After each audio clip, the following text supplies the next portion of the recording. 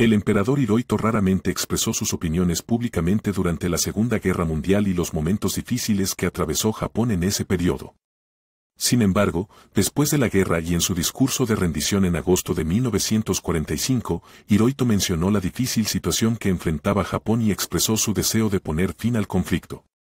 Las circunstancias que rodean a nuestro país son cada vez más graves y la vida del pueblo está en la cúspide de sufrimiento extremo. No obstante, por la lealtad y la valentía que han demostrado nuestras tropas, quienes han continuado luchando valientemente, hemos ganado tiempo y esperamos que el futuro desarrolle un camino favorable para la restauración de la paz.